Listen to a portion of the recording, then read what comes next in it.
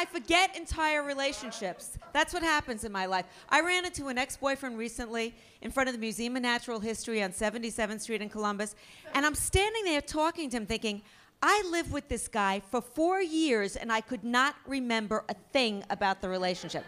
The only thing I could remember was every night in bed doing this. What are you doing? It's the only thing. The little things that just stick with you, you know. But I, I now I'm an old married woman, and um, I, I actually got married late in life because I had really bad role models. I mean, every couple in my family hated each other. My grandparents were married 70 something years, and I know exactly. And um, uh, apparently, my grandfather had a, twin that died in infancy, and my grandmother used to always say to him, "The wrong twin died, Izzy." so this is what I grew up with. You know what I'm saying? So it took me a long time, and I married a guy who had four teenagers. I know, I'm a brave woman. And when I first met them, I didn't know how to deal with them. So basically, I bought their love, is what I did.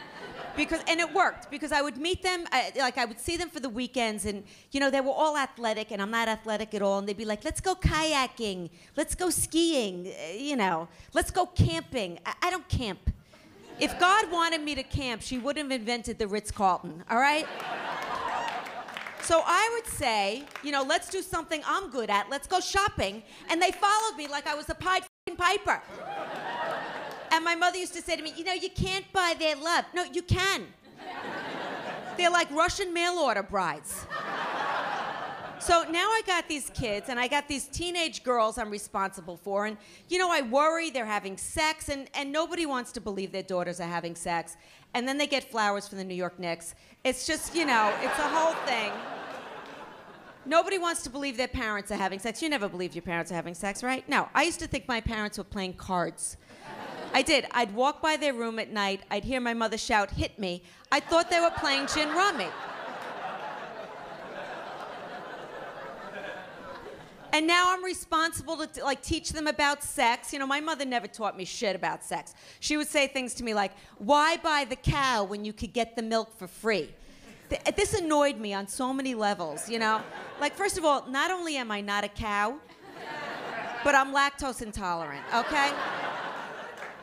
And the implication of that is basically, you know, if you sleep with him, he's not going to want to marry you. What does she think I want to marry any of these assholes I was going out with? I wanted nothing to do with them, you know. I would go out with these guys and I would always have these ding ding moments, you know, these moments where it would be like like ding ding ding ding ding the bells would go off that I should like run, get away, but I would stay. And sometimes the bells were ringing so loudly Marlee Matlin could have heard them, but I stayed, you know. Like there was the guy who told me that his inner child was Dame Judi Dench. Ding ding ding ding ding ding.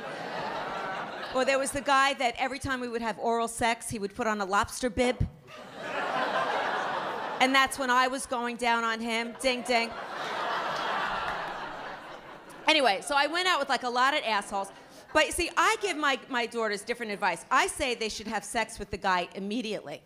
Because I think you have to find out right away if the sex is bad or good. And bad sex, by the way, is a concept that men don't even have. They stick it in anywhere and they're happy. But for women, you know what I mean? For women, you're thinking to yourself, can you get into a marginally erogenous zone? And meanwhile, he's got his penis in your eye socket, and it's just like, you know, it's just not working, you know. So I gave no- advice nothing like my mother. I've never been like my mother. I never looked like her. I was always thin until menopause, and now I have to wear these Maud jackets. But um, my mother was always like Eastern European, like big Eastern European peasanty looking. Like she looked like if she lifted up a skirt, there'd be a huge brisket underneath there, you know. But here's what happens. When you have teenagers, you suddenly become your mother. This is what's happened to me, okay? I always thought I was cool and hip and I work on an HBO show where I curse all the time and I work in nightclubs. No, once you become teenagers, you become a freaking idiot, all right? A couple of years ago, I was in the car with Cindy, my youngest, and Fergie comes on the radio. And she's like, Oh, Fergie, Fergie, I love Fergie, turn it up, I love Fergie. And I said, just making conversation, Oh, Fergie, doesn't she sing with the black eyed chili peppers? Well, this is the funniest thing she ever heard, okay? And she starts laughing, laughing, and rolling her eyes and roll. And uh, by the way, the fact that I get eye rolled at now is so appalling to me because I used to be queen of the eye rollers, okay? I was so good at it, you could actually hear my eyes rolling, okay? So she's laughing, laughing, laughing, and all of a sudden I have a flashback to like 35 years ago, and I'm in the Oldsmobile with my mother, and we're listening to the AM radio. It's like Murray the K or Cousin Brucey, and my mother turns to me and she says, Isn't that Paul McCartney on the Rolling Stones? And I think, what a idiot she is. What kind of moron is my mother that she doesn't know that Paul is a Beatle? What kind of imbecile gave birth to me that she thinks Paul is a Rolling Stone? And now here I am, 35 years later, and now I'm the idiot, okay? It all comes around. But let me tell you, how old are you? 24, you're a baby. Let me tell you about your whole lame generation, all right? I'm gonna tell you what the problem is. Your, your, whole generation with your safe sex. In my day, safe sex is if you did it without handcuffs, all right?